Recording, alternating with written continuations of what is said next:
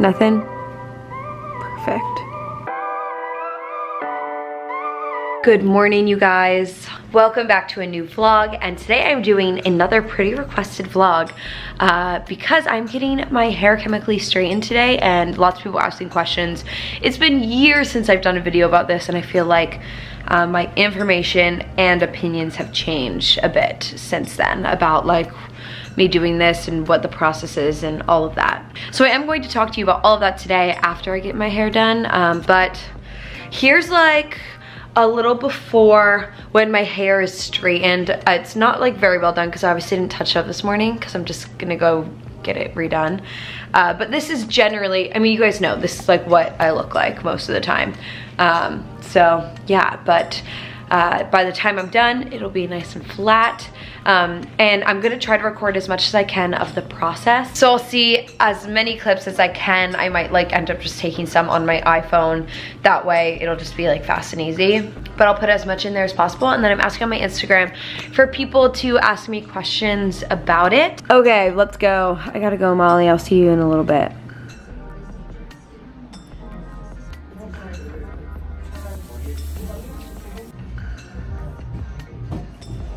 All right, guys, my hair is done.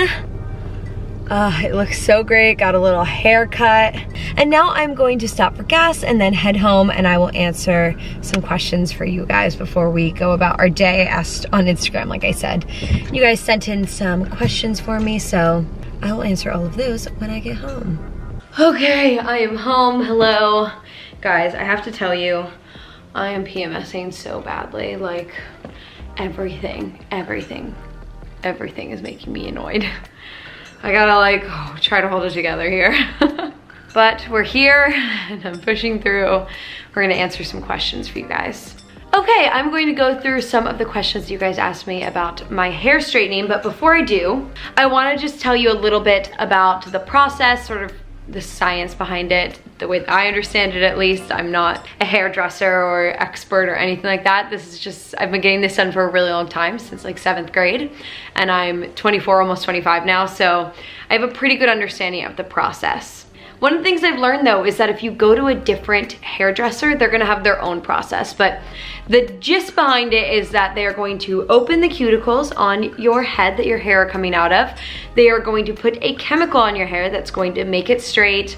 They go in, they straighten it one tiny, tiny, tiny layer at a time uh, just making it perfectly pin straight. And then they put a chemical on it that closes your cuticles and it makes it permanently straight. Even if I get my hair wet, it is straight. So the reason why you have to go back for more treatments is that your hair still grows curly. So as I get growth in, I have to like go in and straighten that down so that it matches the rest of my hair. But all of this right here now is now permanently straight. It literally will not be curly if I get it wet naturally. You can like curl it with a curling iron. I do that all the time as you guys know. Yeah, that is that. And uh, let's get into some of the questions. Has it damaged your hair in the process? I think yes, probably. it's a lot of chemicals to put on your hair. I would say um, similarly to the way that dyeing your hair damages your hair. I've never dyed my hair, so um, you know, I've never experienced that, but uh, this, you know, you're putting chemicals onto your hair. It's not gonna be like the most healthy thing for it. So yes, but um, I also don't think my hair looks that damaged or feels that damaged. Um, so that part is nice. How did it change your hair texture? Okay, so as I said, I got this done in 2007, so it's been a long time. But um, I think it just makes it obviously smoother, softer. Um, I would still say my hair is like sort of coarse uh, because I do have naturally pretty coarse hair. Um, but it definitely evens that out, makes it a lot softer and overall just easier to manage. Didn't you do this a couple years back? Did it get wavy again? Okay, yes, I do this like two to three times a year actually um, because as I explained uh, your growth is curly so you just get it redone for on your growth basically. So yes, you're remembering that I got this done. You do have some upkeep with it. How often do you get this treatment done? Two to three times a year. Basically, you want at least three inches of growth um, before you wanna get it redone. What made you decide you wanted this sort of treatment rather than anything else? Um, my hair honestly is just extremely, extremely curly. So I tried like the Brazilian blowouts, all of that. It just honestly didn't work for my hair. Um, and at that time in my life, you know, having that kind of hair was not only just something that I didn't want, but also just felt very unmanageable. Really, the only thing I could do with it was put it up in a ponytail or a bun. I just didn't want to do that anymore. Um, even straightening my hair, my hair would still be huge, like massive, because um, despite the way it looks with the Japanese hair straightening, it looks pretty damn thin. I actually have pretty thick hair. There's a lot of hair on this head despite the way it looks, so, you know, it just, at the time, I think it was a confidence thing and now it's a convenience thing. Does it affect your hair growth at all?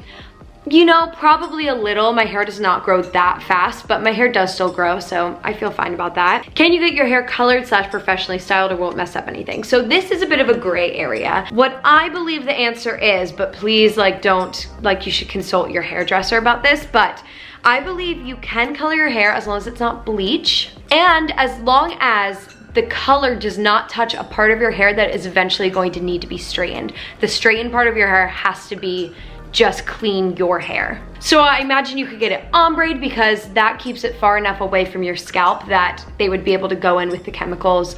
You can definitely find videos on YouTube of girls who made the mistake of getting this done over top of colored hair and also not even girls who made the mistake, hairdressers that were too careless to uh, ask those questions and your hair will I mean, literally fall out of your head. That's definitely tricky and it's definitely a bridge that I'm gonna have to cross someday because eventually I'll start going gray and I'm gonna have to figure out what the solution is for that. So honestly, I think the safer thing is to not dye your hair, which is what I do. Have you ever thought about wearing it naturally curly or it would be so pretty or is it unmanageable? Honestly, I do think about it sometimes because I think now that I'm an adult, I could probably manage it better. However, I don't feel like it really matches my identity anymore. And also the process of growing it out would be years and years and years long. Seriously, when I wait like eight months in between getting my hair done, I usually have like four inches of growth, like down to like here. So imagine like, you know, it would probably take like three years for me to be able to grow my hair out to a longer length. So I'm not saying that I would never do that and not that I've never thought about it, but it's not something that I'm gonna do for right now. How long does it last? Forever. This is permanently straight, permanently. But as I mentioned, you know, at least four months in between a treatment. Is your hair able to be styled with a curling iron? Yes, it can be styled you know, exactly the same way that any other hair could. Someone here was asking me some questions that I've actually already answered. Actually, they said, what's the name? It's just called Japanese hair straightening. But they said I hate having curly hair. And I do wanna say, trust me, I get it because clearly I get this done. Um, but really think about it before you get it done because it is a big commitment. As I said, it would take years for me to be able to wear my hair curly, again, naturally curly. So it's not something light. Maybe start with something like a Brazilian treatment, which um, just helps to loosen the curls. If that works for you, you know, I say stick with that. It's a little less permanent than this. How do you manage to keep your hair healthy? So I do a lot of hair masks actually um, to try to keep my hair feeling nice um, and try to help my scalp because the chemicals do dry out my scalp really badly. So it's something that I try to stay conscious of as much as possible. Does it stay totally straight after the shower, swimming pool, etc.? Yes, um, except for obviously if you have growth, but if I put my hair under the shower right now, it would be totally straight like this. Also, after you get it done, you do have to wait a few days before you wash it. Just let the chemicals set. Price and how did you find the right place to go to? So the place that I go to in LA is called Me Hair Lounge and uh, they do an amazing job there because they have two people working on your hair at a time, which really cuts down the process time. Um, even with two people, it takes uh, two hours, maybe slightly more. Um, so you can imagine with only one person, it would be about doubled. And I have gotten my hair done with only one person and it does take four to five hours. The first time you get it done, it takes a long time because there's a lot of your hair for them to do the process on. When you're just start getting touch-ups, it takes a little bit less time. And as for price, you wanna do a little bit of research. I pay, let's see, with my haircut, it was $290 to get this done, which I think is pretty darn reasonable. I've paid up to $500. And also keep in mind, that is the like touch-up price. I think when you get it done for the first time, it's more expensive because they have to use more product on your hair. But it is gonna be a bit of a cost, you know, I tip $50 on top of that. So $340 is not anything easy just to throw away for everyone. And finding the right place, I recommend just calling, asking some questions, looking at Yelp reviews to see other people who have also gotten it done there to see what their results look like and what their experience was. That's what I did to find me hair lounge. Okay, I think that pretty much covers it. Um, a lot of people are mostly just asking whether it's damaging, and I'm not gonna say no to that because um, anytime you put chemicals on your hair, it's damaging. And I'm also not informed enough to know whether it's more damaging or equally as much damaging as dyeing your hair. I'm just not sure. All I know is that it's been very worth it to me to have this done on a regular basis. I love it. I love the way my hair looks after I get it done. Those are all of the questions that you guys asked me about getting my hair done. I hope that this answered them. If you have any more questions, leave them down in the comments and I will do my best to answer them to the best of my ability. If you live in the Los Angeles area, I highly recommend going to Me Hair Lounge.